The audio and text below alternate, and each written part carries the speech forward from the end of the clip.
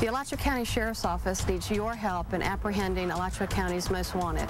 Call the Alachua County Sheriff's Office crime line at 352-372-7867 if you have information on these wanted subjects. Karate Banks Jr., black male, 22 years old, 5'7", 160 pounds, black hair, and brown eyes. Banks Jr. is currently wanted for felony battery, repeat offender. Tamiko Anderson, black female, 31 years old, 5'6", 145 pounds, black hair, and brown eyes. Anderson is currently wanted for burglary of a structure. Congratulations, North Central Florida, on another capture.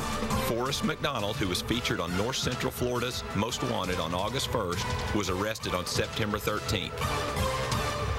If you recognize any of these subjects or have information on an outstanding warrant, call the Alachua County Sheriff's Crime Line at 372-7867. Tips can be filed online at www.alachuasheriff.org, and anonymous tips are welcome. Help us fight crime in Alachua County.